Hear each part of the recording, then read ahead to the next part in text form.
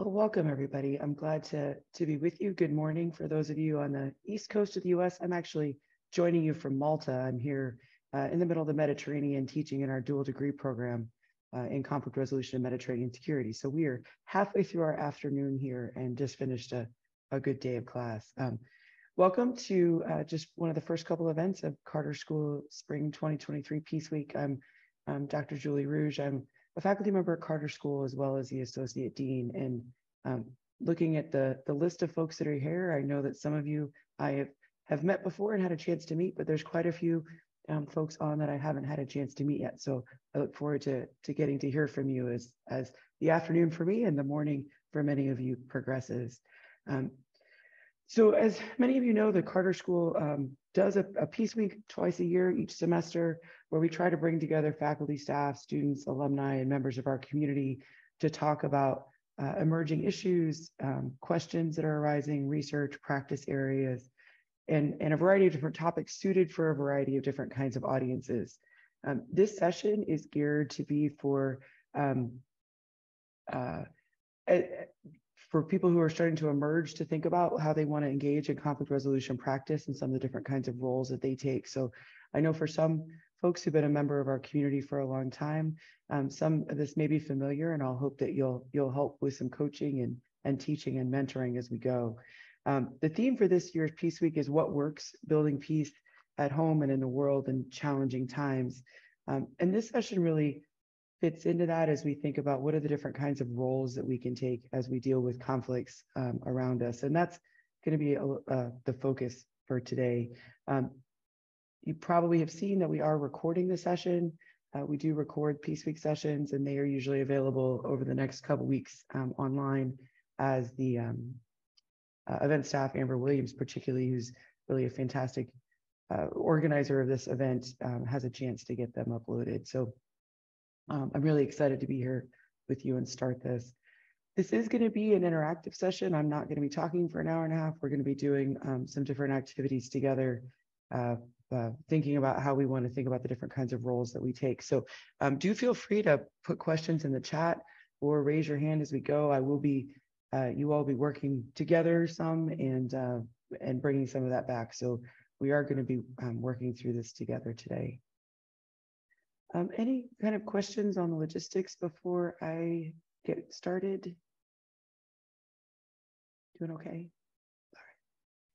Um, well, as I said, I'm I'm a faculty member at, at, at George Mason as well as being um, a twice alum. So I got my master's and my PhD from the Carter School in conflict analysis and resolution. And my research work for the PhD and, and kind of early on was really focused on um, the role of violent extremist groups and how they are connected to communities and, and what it looks like for um, us to talk about violence and how we create incentives in, in what we do uh, in terms of media coverage as well as our conversation about violence for people to, to engage violently in, in conflict.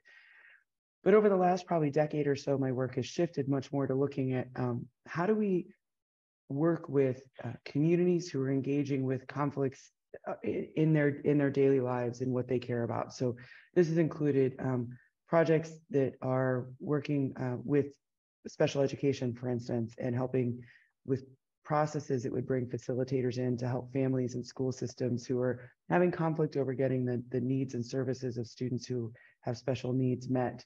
Um, it also has involved quite a few projects in the local Northern Virginia area, working with communities who are trying to make decisions about what to do with Confederate legacy items. So street names named after Confederate generals, um, monuments, markers, symbols, um, that if you're from the Northern Virginia area are kind of all around us. And it's taken some really intentional community conversations to help people decide what they want to do uh, that that um, what they want to do with those symbols that have been ingrained in in the communities for a long time uh, and obviously represent can have quite different meanings in their representation to different members of the community. I've also worked on police community dialogue, police reform projects, um, a variety of different things, but the, the role really has been focused on, my role has really been focused on thinking about how do we help communities and um, organizations, groups do the hard conversations that they need to do well so that they're learning from each other, they're really engaging, they're making good decisions, uh, they're making decisions where people feel like they were informed and part of the process. And so just to have that kind of as my orientation that um, uh, that's that's the the primary kind of role that I'm focused on is thinking about how do we tackle really difficult, ingrained, perpetual uh, conflicts in ways that really bring in multiple voices and allow for for communities and, and people to make good decisions. So um, just to have a frame of where I'm starting from.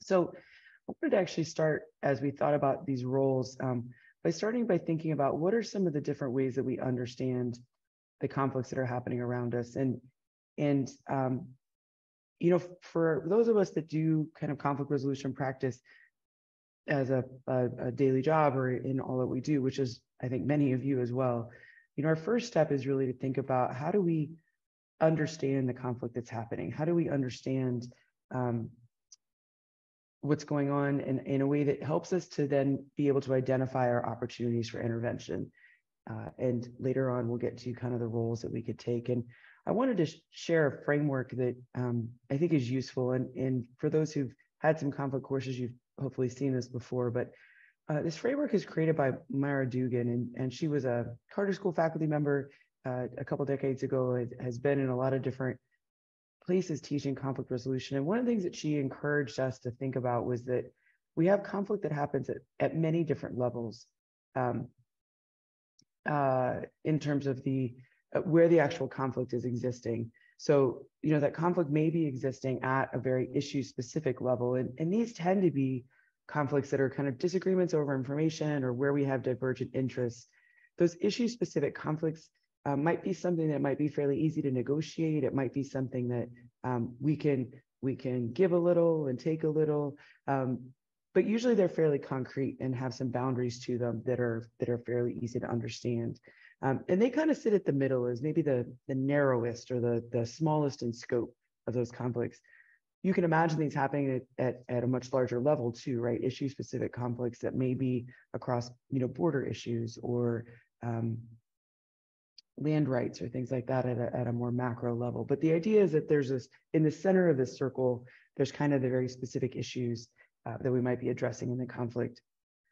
In that next circle out, we're thinking about relational issues. And so this is where the, the conflict is actually emerging, not from an issue specifically, though we may talk about an issue, but really from a broken relationship or a fractured or strained relationship where um, potentially patterns of interaction have created um, a set of feelings and, and, and orientations towards the other party that mean that we're we're continuing to find other issues or or create other issues to be in conflict about that if we maybe had stronger relationships we wouldn't necessarily uh, have to address those as conflict issues. And so this is really kind of thinking about we have the issue specific but, but we also know that some of our conflict is actually um, embedded at the relational level whether those are interpersonal relationships relations between nation states relations between um, ethnic groups or or other community organizations things like that um, she talks about then going a little bit bigger, right? That then we have conflicts that might have their origination point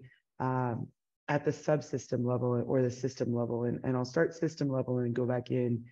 At the system level, these are conflicts that actually are originating in the system itself. So, you know, many of our social systems have built in um, inequities. So, whether it is class, education, race, gender, that is the source of that. But it's systems that have these um, like built-in inequities where people are not able to access the same the same kinds of goods or the same outcomes um, based on some of those built-in systems. And so she's arguing that some conflicts actually exist at that level, right? That the conflict is coming from the system level. Um, we may experience it as issues, we may experience it in our relationships, but that ultimately the source of the conflict is at this broader system level. And just in between those two, she identifies the subsystem level where we think about how those big picture inequities actually get turned into um, ways in which the systems in our daily lives work. So whether it's our workplaces, our homes, our communities, our churches, our um, educational institutions, right? So so that these are all related. And the idea here is that these are these are four interrelated. This is a it's a nested model, as she called it, a nested theory, where the, the four are related to each other. Issue specific conflicts are impacted by things that happen at the system level the system constantly is um, being impacted by how how responses to issue specific and relational conflict happen. but it's important piece of what we're we're up to is to recognize that while often the conflicts that were presented may be presented as a specific issue, right, between two people, between two countries, between two communities, they're existing in a much larger system and structure. Um, and so that's one of the things that we want to pay attention to as we're thinking about how do we map conflict. And um, conflict mapping is it inherently it doesn't have to be something that we do geographically. It's, it's something that we try to use tools to come up with a, a systematic analysis of what's happening in a conflict.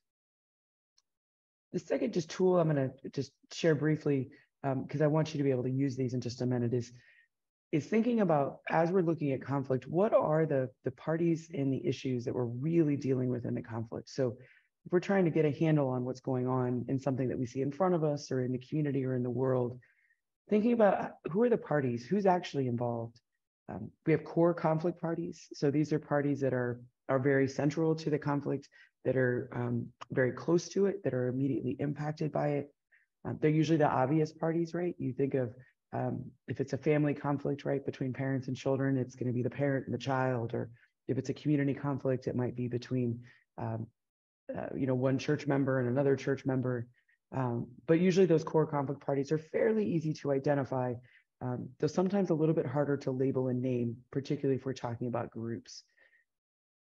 We're also interested, though, are, are there subgroups within those parties? Are they um, are they completely consistent among them? Are there different constituencies? So are there members of that party that may fall on a different part of the spectrum around this particular conflict?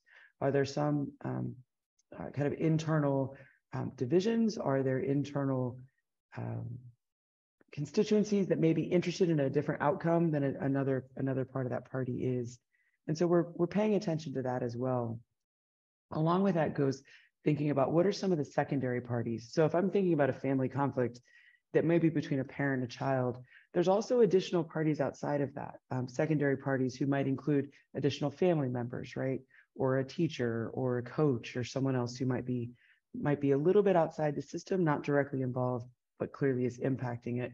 And we can think about the same thing for larger scale conflict. So if you think about a, a, a national conflict, so if we were to say the war in Ukraine right now, right? Core conflict parties might be Ukraine, Russia, and Belarus, but there's plenty of secondary parties uh, to this conflict at this point, um, including obviously, you know, the U.S., the EU, you know, others who are involved. And then we're we care about what are the relationships between the parties. Um, how is how is their power lined up? And um, for many of you who have political science backgrounds or other social science backgrounds, may recognize that there's really a lot of different ways that we can define power, whether it's relational power, formal power, technical power, information power, uh, a lot of different ways that we may exhibit power, um, symbolic power uh, in the world. Um, but what's the relative role of power with the parties? And, and a lot of conflicts that we pay attention to, that power is not equal, right? So people are not um, engaging in conflict from the same standpoint, from the same basis. So um, if it's a parent and a child, we usually understand the parent to have more power uh, in a lot of the formal ways, though sometimes children have other kinds of power uh, in those relationships. Um, we would talk about, I think most people would have previously talked about the war in Russia and Ukraine as being an asymmetrical conflict, with Russia being the more powerful party. Uh, I'm not sure it's entirely played out in that way, though there's clearly some elements of why Russia would still be considered the more powerful party because of their access to weapons and um, political infrastructure. Um, so we're interested in what's those relationships between them. And then we're interested in who are the leaders of the parties and how do their goals match up with the membership. And so um, in a lot of the work that I did previously on, you know, extremist groups and, and violence, one of the things that we found often was that the relationship of the, um, I'm sorry, the interests, the goals of the leaders of the group may not always match up with the goals of the members of the group. Um, and you can imagine this also happening in kind of smaller community groups where you may have a leader a leader of a community, a leader of a town, a leader of a religious institution who might have a different set of goals than the members of those institutions. And so something for us to pay attention to. The second piece we're going to pay attention to today, um, when we do intensive conflict mapping, you know, these can be pages and pages and pages long, sometimes books, books length as we try to map the conflict. But the other piece I want to pay attention to today is um, what are the conflict issues? What are the parties have as positions, interests, and needs. And in the conflict of literature, we make this distinction between them that positions are the thing that I'm going to come in and tell you that I care about, right? The stand I'm taking on this conflict. So whether it is um, the position I'm taking around a community issue, uh, a, con a, Confederate street name, for instance, that my position might be that I want the name changed or I want the name to stay the same. That would be my position. Uh, and usually that's the first thing that people tell us in conflict is what their position is. And it, and it usually is tied to what they want the outcome to be, um, that here's how I want this conflict to go. We're also interested though in, in what their interests are. What is it that's driving that position? Um, what is what is the underlying reason why the person has adopted that position? So um, an interest in the example I just gave might be to have an inclusive community. And so I want the street name changed because I want to have a community that I understand to be inclusive in which all different people would feel welcome. And so that might be my interest underlying that. Or my interest underlying not wanting to have it changed might be that I am very interested in, in preserving historical legacy. And I'm really concerned that if we change that street name, we're going to lose some element of, of preservation of our history. So that's my interest. That's why I'm there. Um, the underlying, even underneath that, though, a little bit is a need. Um, and what is it that that that need might be? And so um, uh, the need might be a sense of, of, of fairness, inclusiveness, wanting to be open, uh, wanting to to embrace diversity, or it might be one of wanting continuity, uh, wanting to not um, be overwhelmed by change, to feel like there's some things that are the same. So we think about breaking down these kinds of positions into interests and needs. And when you think go through a lot of conflict literature, there's a lot of different ways that we think that being able to break down and understand a conflict party's positions, interests, and needs um, gives us better leverage to understanding how to help work through that conflict. We're also interested in how the parties understand the conflict in front of them, how they understand the causes and the meanings of that conflict. Um, and what's important here is that, um, you know, we live in a little bit of an age of relativism where there's a tendency to, to be, uh, there's some pushback against the idea that maybe everyone's perceptions are, are equal. And I think that that's a valid critique and pushback. But as someone who's doing conflict research or conflict resolution, in a lot of ways, I'm I need to deal with the people that are in front of me as they understand the world. So I may understand that there's some um, that their the position or the perceptive perception that they're changing may not be acknowledging something that I might assume to be objective facts, right? But the reality of it is that if I'm going to actually do effective conflict resolution with them, I need to to understand and appreciate the perception that they have of the conflict, um, even if I don't agree with it, right? Or even if I think that it may not be valid. I think one of the things that we've learned over the last five to ten years um, is that there's been an effort to try to use just information as a way to change people's minds. And I think what that is left out is, is how powerful perceptions and beliefs are, and that just giving somebody new information is not necessarily um, always going to change a position. And the last thing about conflict issues we're interested in is what's the current behavior of the parties? How are they how are they in, intending to wage this conflict or trying to wage this conflict? Um, so I'm going to stop sharing for just a second because what I actually want to do um, is have us go into um, some smaller groups and take a couple minutes to um, talk about. I've got a, a Jamboard. I don't know if you all have ever used Jamboard before. Let me show it to you. Hmm. Because I do want us to do this more as a conversation than as me talking.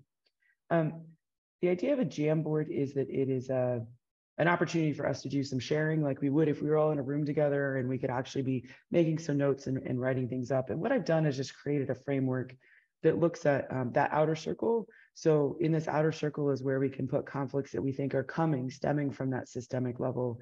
Um, and then we have the subsystem, that relational level we talked about, and then the issue specific. And what I'd like you to do in your groups is identify two or three conflicts that you care about in the world um, and think about where you would put them. Where do you think you would actually put them on this schematic? Where do you think that those conflicts are stemming from? And then there's a little feature over here on the left um, that's called a sticky note. And you can create a sticky note and you can write your conflict on there and then write a little bit about what you think the positions and issues are for that conflict. And then once you hit save on this, you're going to be able to position it on the on the screen. So I'm going to um, share in the chat the link to this Jamboard. if I can manage to do multiple things at the same time, which I think I can. Um, what I'd like you to do is when you're in, I'm going to have you in groups of, it's uh, three or four, I think, um, but come up with two or three conflicts that your group uh, cares about, something in the world that really matters to you. It could be interpersonal, it could be something in the community, it could be something international. Um, you don't all have to agree on them, but just have a little bit of a discussion about where you think that conflict lies. Is it stemming from things at the structural level, the subsystem level, the issue specific? Uh, or relational level, and then create some post-its that actually have the name of the conflict um, and what you think some of the positions or some of the parties are and what some of the issues are, and go ahead and put it on that Jamboard. So when we come back, we can um, uh, take a look at them all together. So um, uh, I, I've gone ahead and created some groups. If anybody can't go into them, we'll keep one group here in the, the main room. But what we're going to do is take maybe 10 minutes um, in the groups to do that and then come back together. And then I'm interested to hear a little bit about some of the conflicts that you all identified. So um, does that, I know we have one person who says in the chat that they won't be able to participate because they're traveling, which is fine. Um, but does that make sense in terms of directions where we're heading? All right, well, let me go ahead and open the rooms and you all will get a chance to um, to uh, self-identify or to self-facilitate in your rooms um, what you're what you're up to. The link to the Jamboard I've just put again in the chat, um, and I can broadcast it out to all the rooms. If you have any trouble, I'll be in the main room and you can come back to me. So uh, see you in about 10 minutes. I'm interested to see what conflicts you identify that, that you all really care about. Okay, um, anybody want to talk a little bit about what they saw as the um, the issues and the parties involved in the conflict that you all talked about? Would anybody um, from room two, either Mari or Honore, do you want to talk anything about the conflict that you put up here? Okay, um, so let's try room three. Deanna, Mauricio, or Riley, do you want to say anything about the conflict that you added to the Jamboard?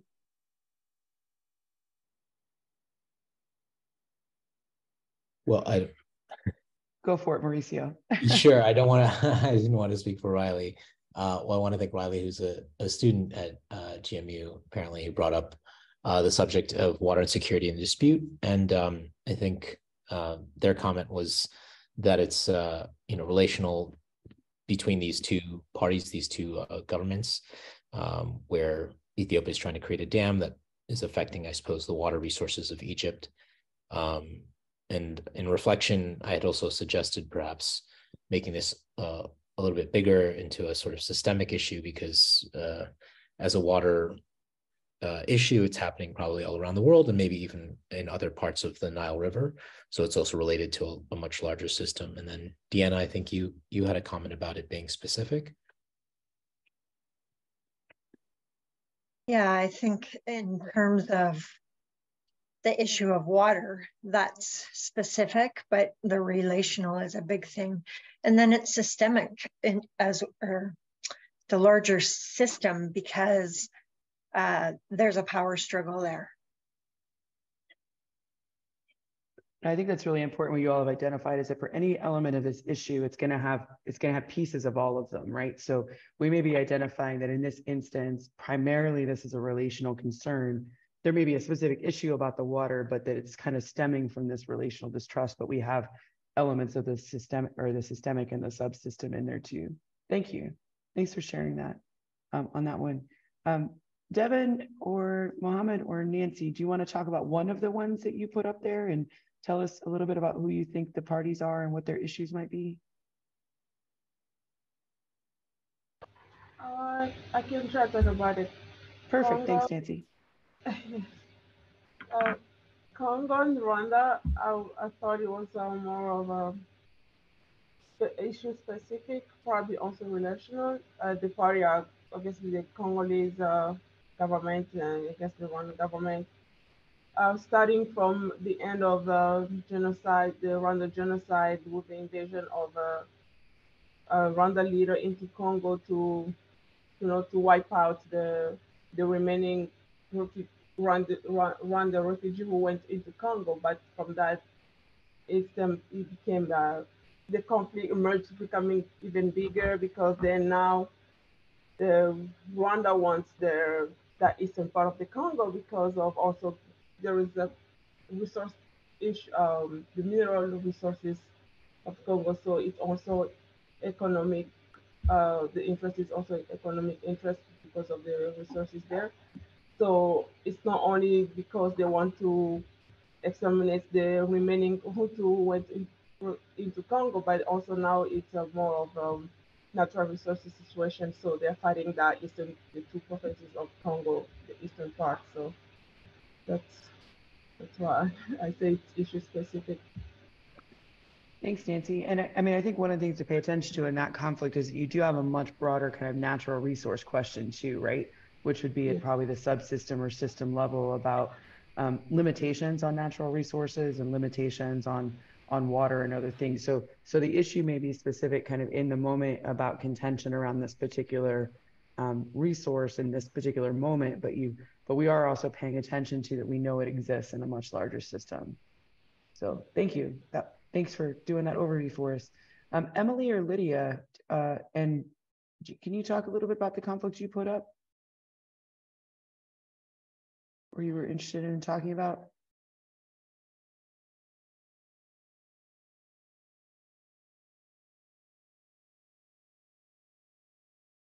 Okay, let me move to uh, Jeff, Maria Teresa, or Sean. And I, um, what, what conflict were you all interested in? What did you talk about? I, I can speak about that. It was me and Jeff. Hey, all. Um, uh, greetings from San Diego, where I'm about to lead a training. Um, so the way I like to think of this model, and good to see you, Julie, uh, is is is like pulling a thread through the the different levels of the nest rather than just trying to plot it in one place. And so I I, I put uh, three little stickies here in that kind of upward diagonal to the right um, uh, around just like take any issue that might be discussed by politicians. So the specific issue might be something about I don't know, you just name it, COVID, might be police reform, might be might be a specific incident, anything at all. But because of the relational dynamic being such that party uh, enemies are just that, they're your enemy, it prevents any sort of collaboration. And the subsystem that's controlling that is a, is a system of polarized party politics where the parties are in charge. Um, and, and so I kind of see, I can't help but look at you know naming the system just as important as as naming why that that issue is not being solved. So i don't know if that made any sense but that's how i thought about this. Thanks sean. Um, and i know that you've done a lot of thinking about this and how to use these different models and tools so i appreciate you you chiming in on that. Um, okay let me um, precious or terrence did you put a, a conflict up and you want to talk a little bit about what you identified? Okay, Let me go to uh, Ella, Kristen, or Renata. You want to talk about what you you all identified?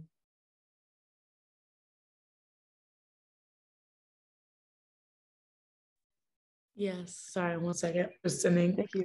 Sure. Thanks, Ella. Okay. Um, so we were talking about the conflicts on campus, kind of how the community's reaction to gun gun prof- uh, sorry, Youngkin um, speaking, and we're trying to like, because this is the situations right issue specific, but we're discussing the relational subsystem systems from the issue. So I'm probably gonna let Kristen hop in at some point, but um, so the main issue is the conflict going on right now.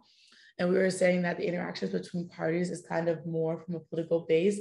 There's been conflict in Virginia between the two parties mainly over education, other things going on, CRT as a whole.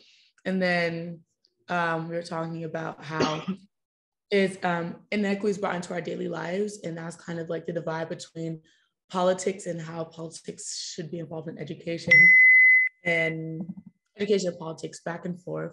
Um, we were having trouble identifying the system level and subsystem levels completely but we were talking about how this is tied and kind of paired with the system level of how public education is really closely tied to politics and political funding, and that our issue kind of stems from wanting to maintain a good relationship with government in order to fund our school. But that's kind of just a completely different conflict that we identified too. And we're like, that's just mm-hmm. kind of in passing with each other coming from a public university. But that's what we talked about.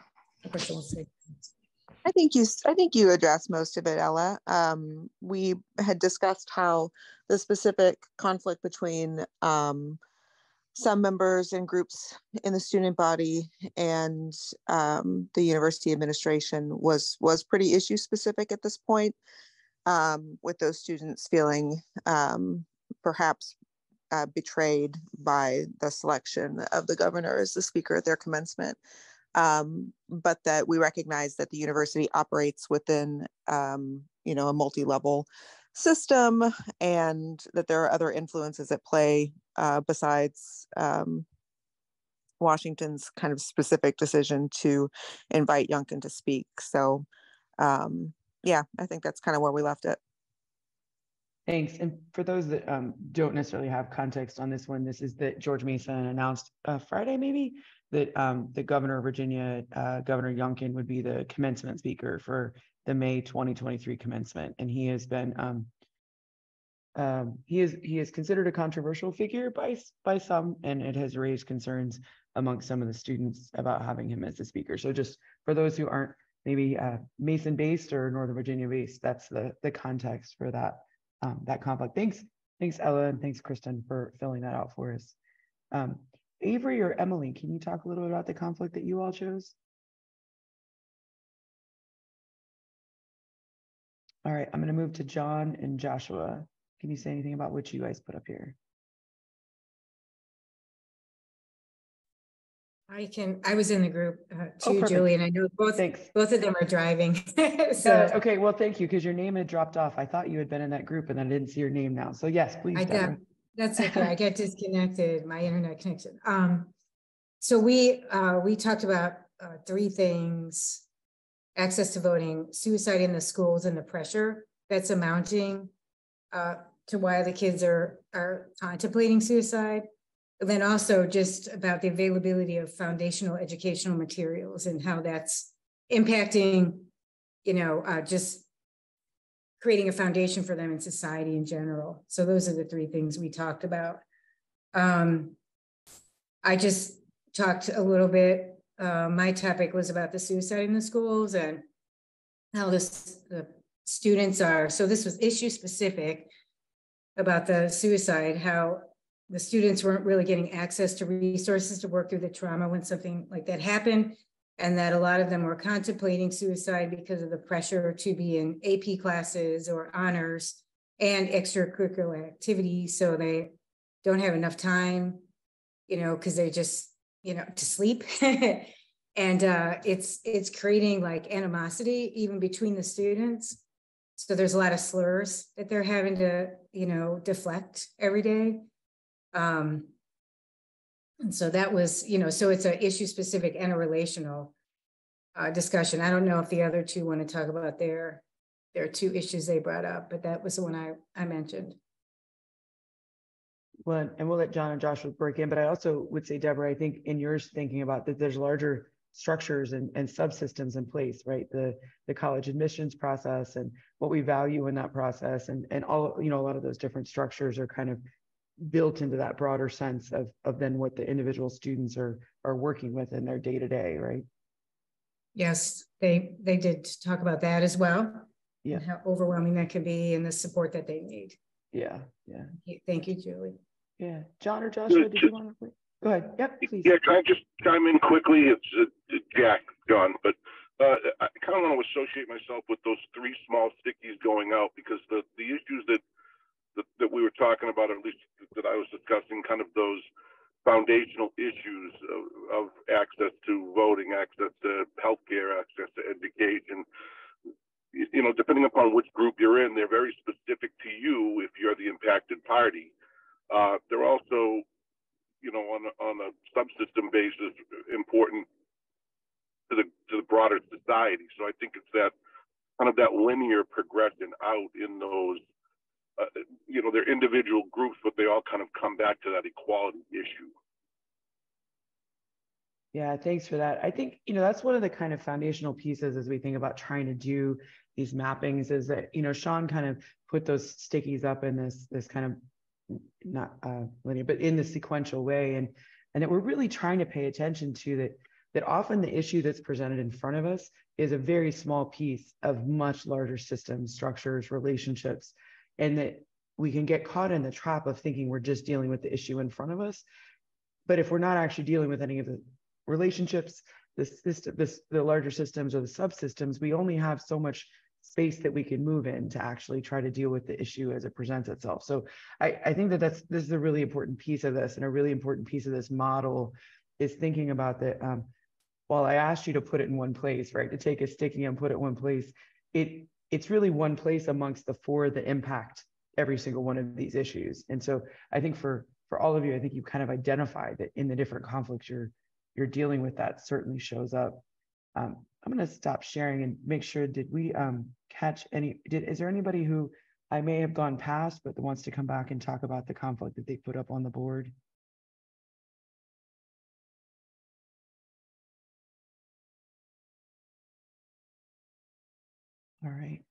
Well, let me come back to. Um, uh, I wanted to move kind of where where I was heading next was just to actually think about some of the different roles that we might play in conflict. And you know, this has been um, an evolving conversation, I think, over the years about what are the the right roles, what are the different sets of roles, and, and maybe let me set this up a little bit to say that, you know, a lot of the work that I've done in the last 10 years um, that has been about being a facilitator or doing facilitated processes has been uh, the opening, the creation, the ability to take that role has been created because there was people in other kinds of roles.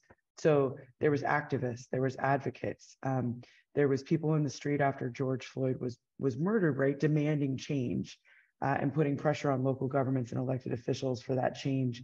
And that then led to them wanting to set up sets of processes that would try to deal with police reform or uh, Confederate monuments and markers, things like that. And so I none of these roles are are better or different, you know, than the others. These are all just they're different kinds of roles that we might take in dealing with conflict. And I pulled together, and these are from um, both some from William Ury, but also Chris Mitchell over the years have written about this, and and then pulled from my own experience what I thought were the ones that were really at the the front of what we're doing right now. And they're not necessarily new roles, but I think they've been emerging as in, increasingly important and not always the first roles we think about. Um, some of them are, but not always the first roles we think about in engaging with conflict. And and I'm interested as we kind of move forward with this with some of you who've got um, a lot of experience working in conflict, kind of where you see some of these emerging roles uh, playing playing the most importance are.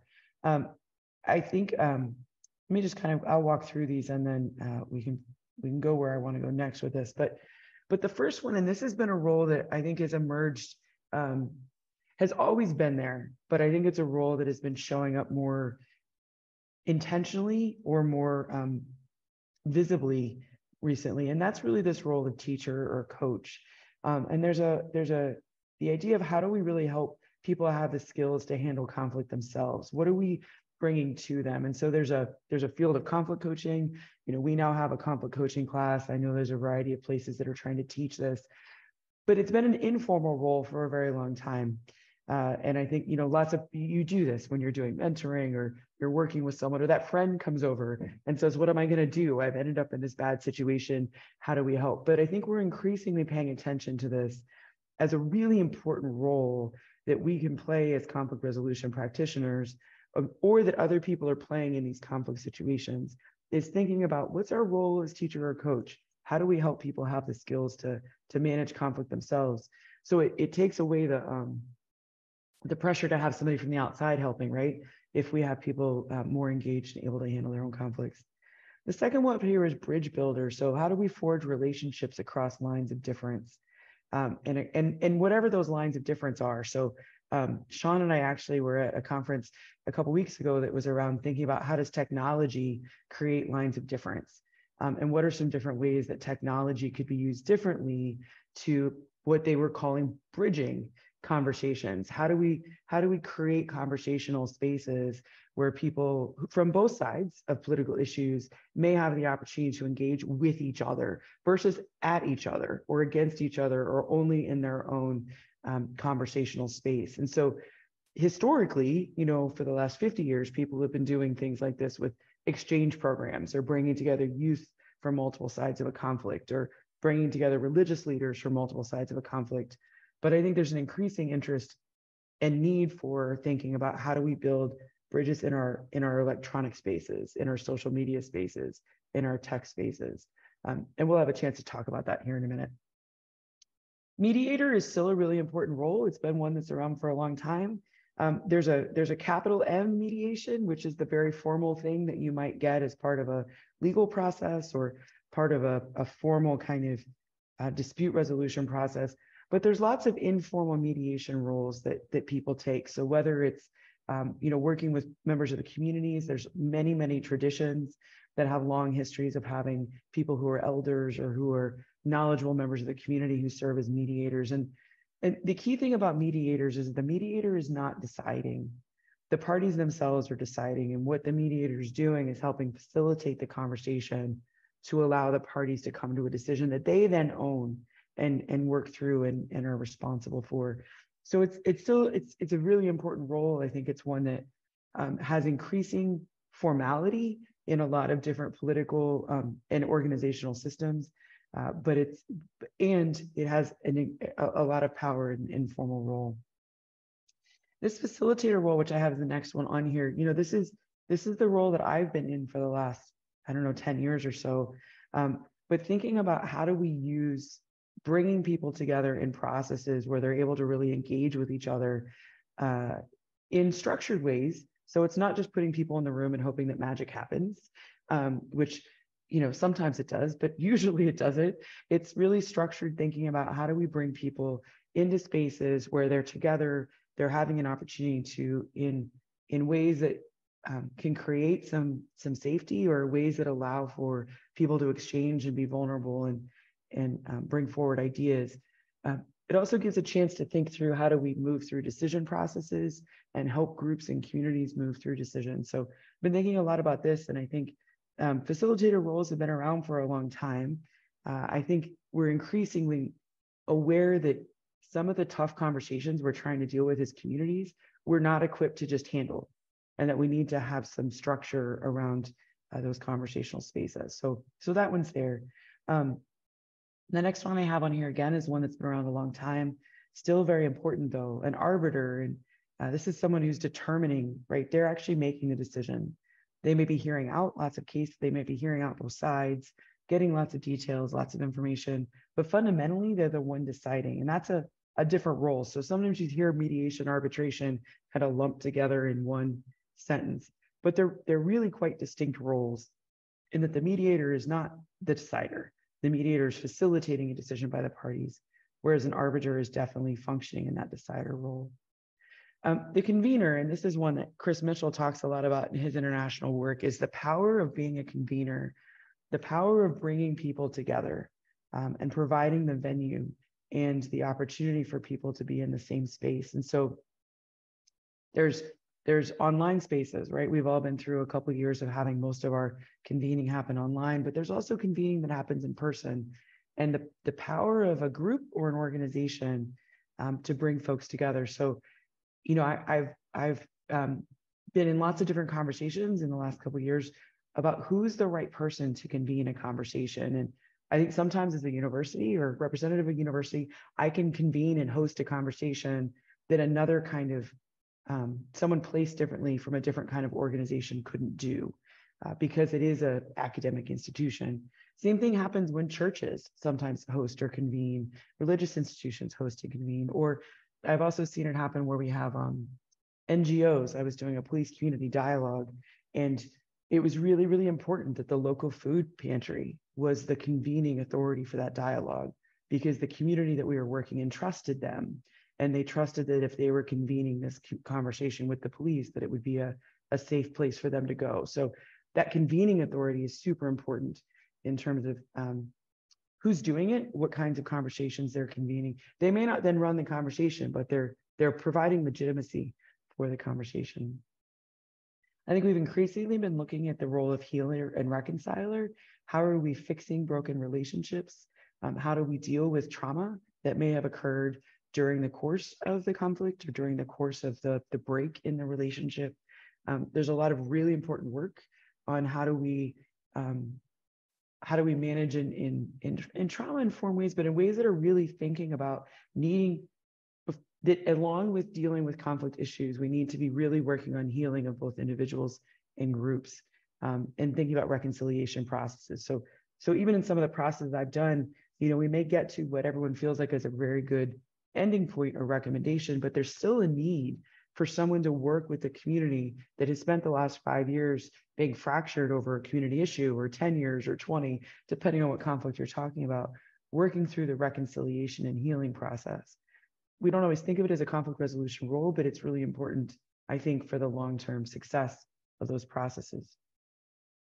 I've also been paying more attention to the role of witness and thinking about how witnesses impact us. And so, you know, a witness, if we think about um, about witnesses in court trials, right, who are there to provide testimony or evidence. Um, but witnesses do a couple other important things. So, you know, we have a whole set of organizations that work at the international level whose job is to witness. So, Human Rights Watch or some of the other organizations that that are that are taking the job of doing the witnessing of what's happening in conflict, the different monitoring missions that happen at the, the UN or others. Um, we do this also, I think, you know, in local communities where you have uh, both media, but also community groups who are in the communities witnessing what's happening. And th- there's two pieces of that. One is the after the fact, having someone be able to witness um, and say what's happened and provide some accountability. But there's also the in the moment assumption that um, an assumption, and I think in many cases it's true, that being observed and knowing someone, usually with some kind of power, is observing you may change the behavior of the conflict parties.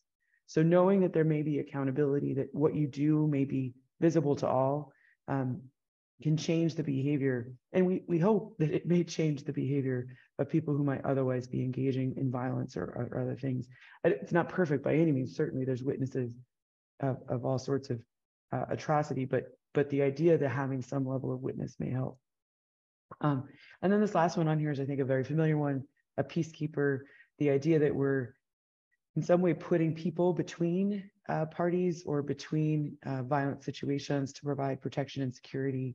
Um, there's a lot of complicated conversations around this, you know, peacekeeping roles over the last 70 or 80 years, but it is a role that we see happening both locally and, and internationally. So you see you know, citizen patrols um, that are that are in community streets that are intended to kind of keep the peace by having their presence be there, by putting themselves between, uh, and um, and then as well as peacekeepers at the international level. And so I, I think there's um, some interesting elements to that role that I think continues to evolve uh, as we're continuing to evolve our uh, you know understanding of, of what what peacekeeping could mean. Let me open it up and see um, I, I mean, I've pulled from a couple different places some of the roles that I've been paying a lot of attention to. Are there others that that we should add to this that I've missed? Okay. Well, give me just one second. What I actually want to do um, is I want to break into smaller groups. I'm going to take just six of these roles. I'm going to take teacher, coach, bridge builder, facilitator, convener, um, uh, healer and witness, because those I think are the ones that we have historically spent less time on. Um, and I want to have, yeah, Sean, absolutely. Peace builder, I think, can be an overarching term that a lot of these different roles could fall underneath, and they could be elements of peace building, absolutely, um, at the same time.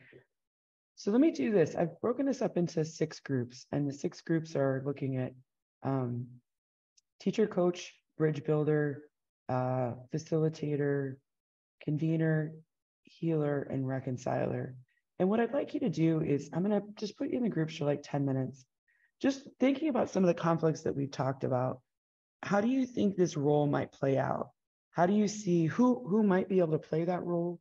Um, what role could they take? What what do you think the openings are for some of the conflicts we talked about? So um, I'll stop sharing for a minute. But in our in our Jamboard, we've talked about, you know, South Sudan, uh, police training, the Israel-Palestine conflict, water insecurity, um, access, you know, issues in schools, access to voting, um, pressure in schools, Congo, Rwanda, Afghanistan, and I think you all kind of talked about several others as we went through it.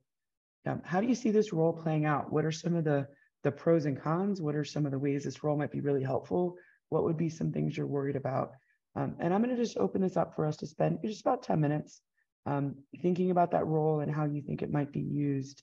Um, and let me do real quick, and then we'll we'll come back. And I'm curious to see whether you, how, what you think of that role and if it's one that's going to be um, one that's going to be really useful for us moving forward. So let me um, make one quick change real quick. And then I'm going to just open up these groups and I'll see you all in a couple minutes. All right, welcome back. I'll give you a second to settle from your being zipped through the time space continuum back to uh, the room together. it's always, I appreciate that about Zoom though, as a facilitator, trying to get a group of people all back together after breakouts is a lot more difficult than when I can press a magic button and it just goes away and you have to be back with me. So um, let me uh, just, I'm curious what y'all talked about. What did you think? So let me actually start with um, the witness group, which I think was Mauricio and, and TM Cummings. What did you all talk about? How did you see the role of witness playing out? What conflicts? What was what was some of the thoughts you had? Um, I can just jump Perfect. on in. Mauricio, Yeah. please um, add on. I guess from, f well, for one, I joined rather rather late, uh, Okay. and so I, I missed a lot of the presentation. So Mauricio was very kind enough to to update me. Um, but essentially, we're just talking about the different, um, the perspective how the role of the witness can play not only um, in in grounding the truth of the experiences done and carried out um, from from a conflict, um, but they can also play a larger role in the peace process. And unfortunately, at times, you know, their their perspective and especially the uh, when interventions are being placed um, that has been uh, brainstormed and brought about from like you know thinking about like from the government and just implemented down, um, there may not be successful, and there's different factors to take in, like culture or what have what have you. And so it's important that you know witnesses that also take part in like civil society or what have you, that they are their their perspectives and and they are taking taken into consideration when um, going about peace. Thanks. Mauricio, love, if you had others. yeah, I love the phrase grounding the truth about what's happening in a conflict. I, that's a really powerful phrase. Mauricio, did you want to add anything? Yeah, um, thank you, Tiffany. I think we and we expanded just again by I'm not sure if you already just said this, uh, by stating how some of these roles overlap um, Mm. quite a bit, and depending on the you know region or the conflict itself, um, you know, witness can uh, and should often be more than just a witness. They can play a valuable role in the actual um, coming to the table and in re- resolving the conflict, either as a healer, reconciler, even maybe even facilitator to some extent, depending on the. Because we're saying how you know it's important to be aware of um, in doing no harm how larger agencies or groups can sometimes come in to bring peace and resolve conflict but they often can ignore the very people that were you know part of the conflict itself. They may have actually valuable um, cultural resources to decide how that conflict might be resolved and they're you know perhaps based on their culture and their background and instead of um, you know only leaving it to the outside players. Um, so so witnesses in many of these roles can easily overlap uh, when it comes to conflicts Thanks, and thanks for reminding us of that because I, I I think that that's a really important point. These are not necessarily discrete roles, so sometimes they should be right. There's some roles that just would match with taking on another role. Um, so you know, if someone is is um, uh, is working as an arbit- arbiter, right? It's hard to then actually be some of these other roles because you're in a decision making seat. So it's hard for you to be sitting in a role where um, people don't see you that way. So, so yes, there's a whole lot of these roles that could overlap, and we have to be thoughtful about which ones shouldn't or couldn't uh, overlap. Um, though I think, you know, that's been one of the struggles that that I think peace building has had for the last 15, 20 years, is we've been asking people to take on a variety of different roles. For instance, the military to do a lot of peace building roles that that are just incompatible with some of their functional military missions, whether they want to try to do it or not, right? So um, I think that that's an important point about being very mindful as reflective practitioners of what roles combine and which which should not. Um, let me go to the healer reconciler group. I think Diana, Mari, Renata, uh, anybody want to speak to what you all talked about about a healer or reconciler? Sure, I can. Um, we, we, I talked about it in terms of restorative justice because that's the lens that I wear. And actually, the uh, healer reconciler then um, the is is the participants of the circle you know? And so rj the facilitator then is just there to hold the space to ensure that there is healing and reconciliation. Um, but it really is the role of the participants yeah to do the work. And actually john had put in the chat before we all broke out as a role is being a willing participant one who's willing and able to come to the table as as an important role. And, and as you said in the processes that you're talking about every participant is playing this role. It's not one magic role that's coming from an outside person but everybody's playing that role. Thanks. Did anybody else from your group want to want to chime in? I think that was a great summary. Um, yeah also uh, you know making space for someone if you are um, a healer.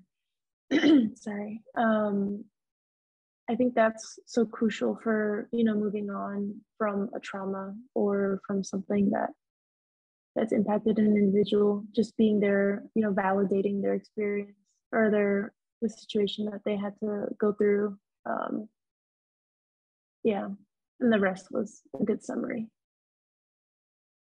Great. Thank you all. Um, appreciate you talking about that for us. So let's move to the convener role. And this was um, Avery, Nick, Mohammed, Nadine, Nancy. Anybody want to talk about this? The convener role? Yeah, in the convener role, I will talk about the uh, Afghan conflict between the ruling group and the opposition. Actually, there is no talks and negotiation currently that's uh, off the uh, the way and um, the there was uh, some uh, uh, try to have Taliban to talk to the opposition, but they didn't accept that after they uh, captured Kabul in August 2021. But the best convener will be uh, OIC, uh, Organization of Islamic Countries, they tried, but that was not successful. Um, uh, now the best convener, convener could be a delegation of religious scholar from different religious institutions of Muslim countries to go and uh, at least try to open uh, or convince them to uh, come to talks with the opposition. That's uh, that's the one of the options. There there is a kind of international community uh, could play also a convening role, but uh, um, this is connected to the policy of international community in regard to the region because uh, uh, there is also, as I put it uh, earlier in the mapping, additional to the specific issue, issue specific conflict, there is also a structured conflict and system because of the natural resources in Afghanistan, which the, the uh, regional uh, economic power as China and Russia and others, they are interested to to to continue with the ruling group, not uh, with the opposition or an inclusive government. Thanks, Mohammed. You know that, that's really important, right? That if you if you haven't done the mapping and you don't understand the players, it's really hard to identify who could be a convener. And you may have someone trying to play a convening role that is just not going to be accepted, right? Or their people aren't going to come. So you may think that you're playing a convening role, but based on where you stand in the conflict dynamics, your relationship with the parties, that, that people aren't going to trust you that this is a, a safe conversation to come to or it's a legitimate conversation. I think that's a really important part that we have to have done the mapping, right, to really understand who the party are, who the parties are, to then understand um, who can who can play that kind of role. Um, Nancy or anybody else from that group, did you want to weigh in? Um, so then we also talk about the, the Congo, Congo and Rwanda conflict, but like you just say, uh, it's hard if you haven't mapped the conflict, but in yeah. this one, actually, the conflict is well mapped. We know what's going on, we know who the parties are, but I don't think there's been any uh, successful convener in this conflict yet because yeah. the tensions are always like high and even now they're getting higher again. But I know uh, there've been some witnesses like the UN, the MONUSCO, they, they come, they they do more of being a witness than convene and help the conflict. So, and recently we had um, President Macron was there, but and all the um, treaties or the agreements, some of them, at least one party doesn't respect the other. So there hasn't been any successful convener yet. So yeah. thanks. Yeah, that's really important. And it's sometimes it's easier to think about at the local level or the, the family level who can convene. At the international level, convening gets really complicated about who can play in those roles. Let me move to um, facilitator role, Honore, Precious, or Terrence.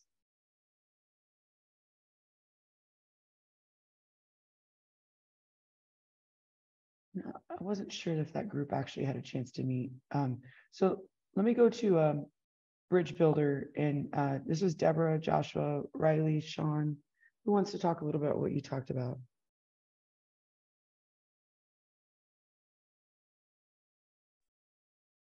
Uh, well, I guess I'll speak up here. Um, or Deborah, go ahead.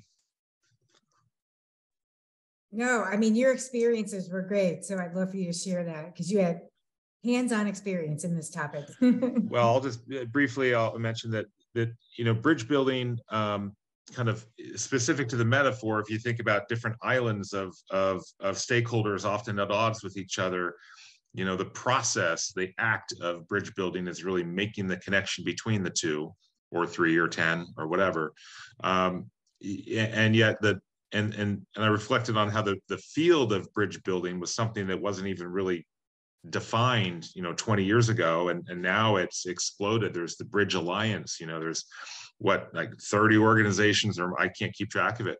Um, ostensibly all working toward you know building bridges between you know opposing sides or perspectives. Um, but the challenge it's interesting the challenge is one that's that's also inherent in a lot of these other roles which is kind of staying in your lane or or or you know collaborating well with other roles and and folks in bridge building i think want to do it all. They want to do the the making the connection the convening the facilitating the you know the actual collaborative problem solving um, because that's ultimately the goal at the end of the day is is peace and reconciliation and whatnot. But so we we talked about how uh, um, you know fundamentally this is uh, this is a necessary, it's like a prerequisite to convening, uh, but sometimes it goes into beyond that. And, and in some cases, it's easy. It's like, oh, sure, everyone's going to show up. In other cases, the entire process is just once you connect the bridge, then everything's easy after that. But it's really hard to do that, you know. And I, I mentioned working with Israelis and Palestinians for for about 10 years and how uh, you know, once we have them together, it was actually relatively easy, but the process of building the trust to come to the table was the hardest part. Thanks. And I, and I think, Sean, I'm glad you highlighted that some of these things might need to happen in sequence, right? And that um, some of them are directly, some of these roles are directly working on the conflict in front of us, and some of them are working in other ways to figure out how do we change the dynamics how do we build trust how do we so so if you're doing a bridge building activity you may never bring up the actual conflict issue because what you're working on is trying to build trust and relationship and that's a precursor then for some other things there's another role that we sometimes talk about which is um kind of a, a, um, a, a an insurer i mean that or that kind of teacher role that prepares people before they can even engage in the conflict productively so i'm appreciative thank you for bringing that that kind of sequencing question um, up for us Um, Deborah, did you want to add anything to that? Or anybody else from that Um, group? Yeah, the one question I, the one question I did have is who prepares, just as you mentioned, like who prepares the groups? And then the other question was, how far does the bridge building go?